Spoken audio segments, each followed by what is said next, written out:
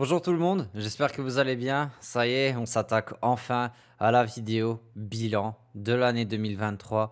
Et franchement, mais quelle année de merde. Je ne peux pas commencer ma vidéo sans dire quelle année de merde. Mais je vous jure, hein, cette année a été catastrophique pour moi. Que ce soit en termes personnels et professionnels. Vraiment, cette année, euh, il s'est passé mais tellement de choses. Mais de toute façon, je vais tout vous dire dans cette vidéo. Bien sûr, il y a quand même eu des, bons côtés. hein. Mais voilà, il y a eu pas mal euh, d'imprévus, pas mal de choses qui ont changé, pas mal de choses qui vont encore changer l'année prochaine. Donc voilà, écoutez, posez-vous, mettez-vous bing. Et là, on va se prendre quelques minutes ensemble ben, pour discuter un peu de cette année. Bon, déjà pour commencer, on va parler vraiment du gros point marquant de cette année, euh, c'est-à-dire Yu-Gi-Oh! Cette année, c'était l'année des 25 ans, mais c'est également l'année où Konami commence à enterrer profondément leur jeu. Je vous explique, cette année, euh, vraiment, ça a été l'année, je n'en peux plus de Yu-Gi-Oh! Pourquoi? Parce que, comme vous le savez, euh, moi, j'ai commencé vraiment euh, en étant vendeur Yu-Gi-Oh! Je voulais faire euh, que du Yu-Gi-Oh! Je voulais me consacrer 100% à ça. Cette année, j'ai dû bah, changer complètement mes plans parce que malheureusement, cette année, Yu-Gi-Oh! ça a été de la merde. Ça a été de la merde euh, professionnellement, je vous jure. Dites-vous bien qu'à cause de Yu-Gi, au mois de septembre, je crois, au mois des Teen Box, j'ai failli arrêter la boutique parce que je n'avais plus d'argent pour payer ces foutus Teen Box. Je vous jure, j'ai dû diviser mon stock de Teen Box par deux. Et d'ailleurs, tant mieux. Parce qu'en vrai, quand on a vu la gueule des Teen Box, tant mieux. Désolé, hein, dans cette vidéo, je vais vraiment euh, parler euh, français. Je vais dire les choses telles quelles. De toute façon, c'est pour ça que vous regardez cette vidéo. C'est pour vraiment connaître 100% euh, ce que j'ai ressenti cette année. Et cette année, comme je vous l'ai dit, vraiment, Yu-Gi-Oh! ça a été catastrophique. Et ça continue de l'être. Et vraiment, je pense sincèrement que sur 2024, je suis même pas sûr de finir l'année encore avec du Yu-Gi-Oh! hein. Yu-Gi-Oh! à l'heure d'aujourd'hui, pour vous faire simple, euh, la rentabilité est dégueulasse. Pour vous dire, quand on prend par exemple un carton de 12 boîtes, euh, eh ben, on arrive à peine à dégager 100, 150 euros de marge à se mettre dans la poche sans euh, les impôts, etc. hein. Sachant que ça, allez, quand on est professionnel, on achète à peu près pour 1000 balles. Vous pensez que ça vaut le coup de dépenser 1000 balles pour gagner 100, 150 balles? Quand vous arrivez à vendre les produits, bien sûr, parce que n'oublions pas que les produits euh, sont de plus en plus difficiles à se vendre, puisque ben il y a une perte d'intérêt euh, grandissant euh, envers les produits, puisqu'ils augmentent et ce qu'il y a à l'intérieur, ben ça c'est tellement pas rentable que ça donne pas envie d'acheter. Parce que oui, au début d'année, en janvier, je continuais à faire plus de cartes à l'unité que de box break. Donc voilà, et au fur et à mesure, je me rendais compte que bah, je perdais plus d'argent que j'en gagnais.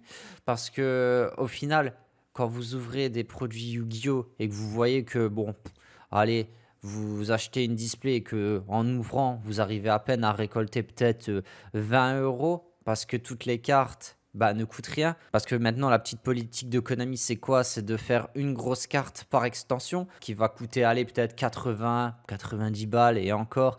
Et le reste, ça va être des cartes à moins de 10 balles. Bah écoutez, comment vous voulez être rentable? Voilà.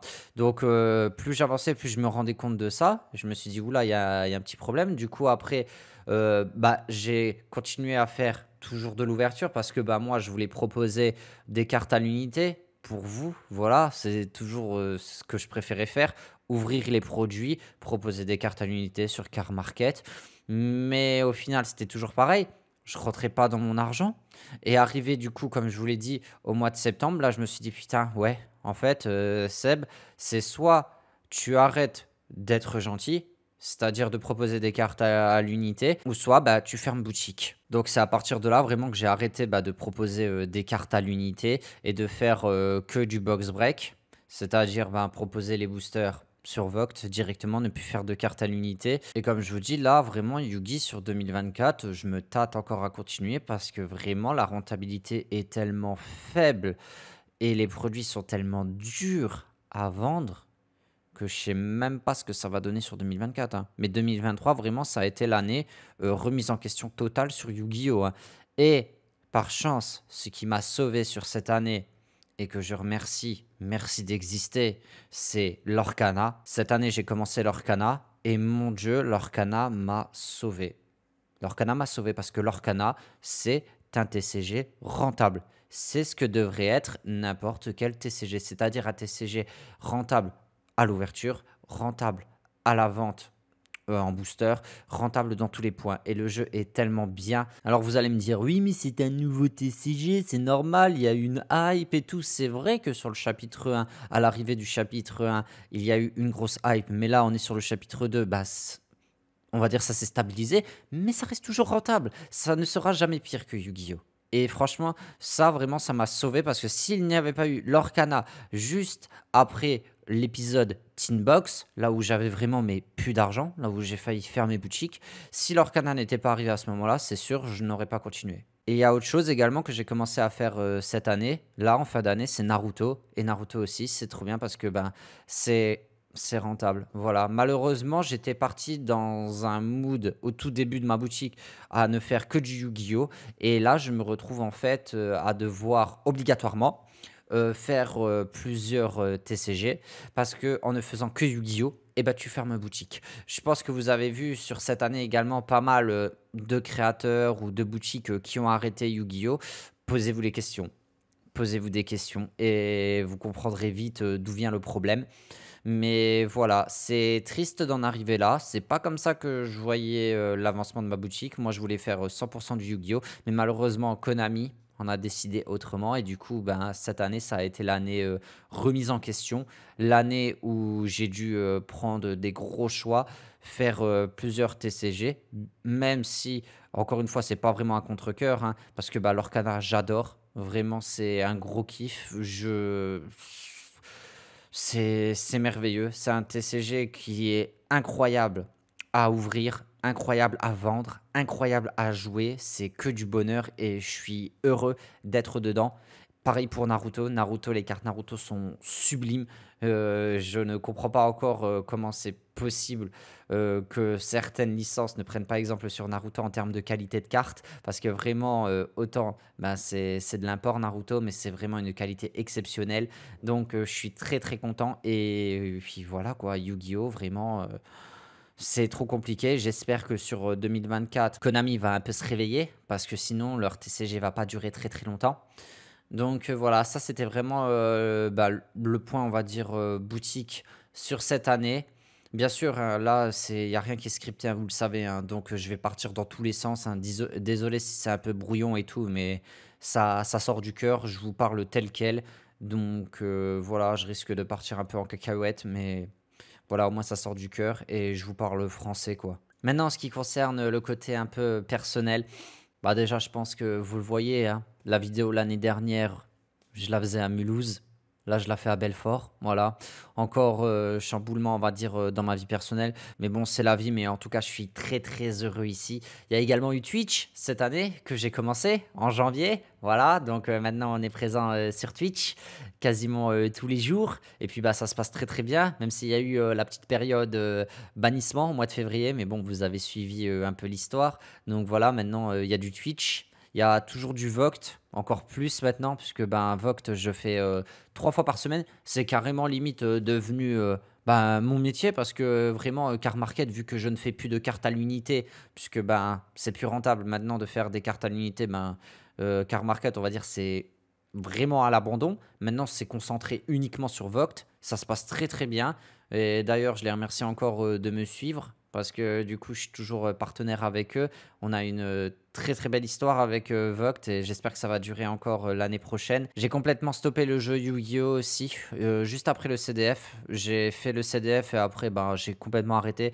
Déjà, j'avais vraiment stoppé avant, mais on va dire, je voulais vraiment finir avec le CDF pour vous dire, hein, le jour 2 du championnat de France Yu-Gi-Oh, je jouais à l'Orcana. Dès que l'Orcana est arrivé, vraiment là, j'ai su que ben, c'était la fin pour Yugi.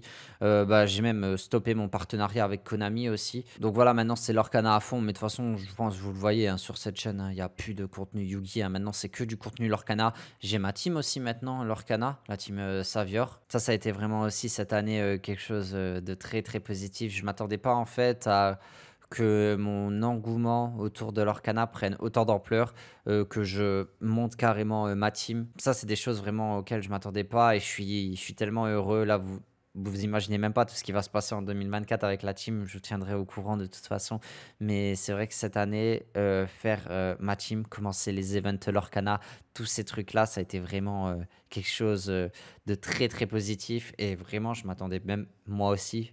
Je m'attendais pas en fait à être autant investi dans ce jeu, qui prennent autant de place et vraiment ça c'est que du kiff. Donc voilà, la vidéo elle part un peu dans tous les sens, mais voilà, vous avez vraiment eu les grandes lignes euh, de cette année 2023.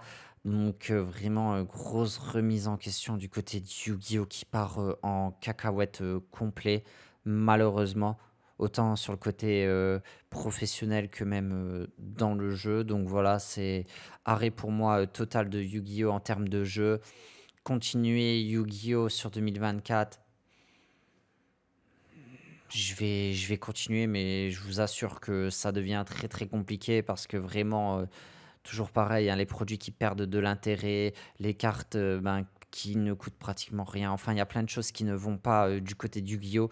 Donc, on verra ce que l'avenir nous réserve. Mais en attendant, je prends vraiment le strict minimum parce que je veux vraiment pas me dire j'arrête.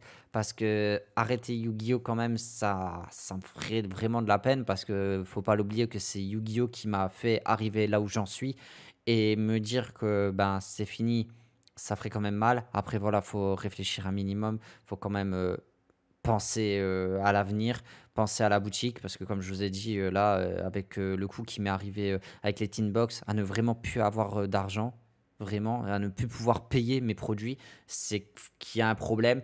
Donc euh, bon, maintenant, je fais encore plus attention, j'en euh, suis plus à là, mais ça vous prouve quand même que Yu-Gi-Oh, il y a un très très gros problème. Et puis le reste, ben, on va continuer hein, à fond sur l'Orcana, à fond sur Naruto, les gros events qui vont arriver sur 2024 avec euh, l'Orcana, avec l'équipe, on va faire des trucs incroyables. Donc j'espère que l'année 2024 se passera mieux que cette année, catastrophique clairement. Et puis bah voilà, on se tient au courant les amis, on se donne rendez-vous ben du coup euh, début janvier pour de nouvelles vidéos. Forcément celle-ci elle sort euh, le 31. Fêtez bien et puis on se retrouve euh, la semaine prochaine, dimanche à 10h30 pour une nouvelle vidéo. C'était Obscurity. Ciao les gens.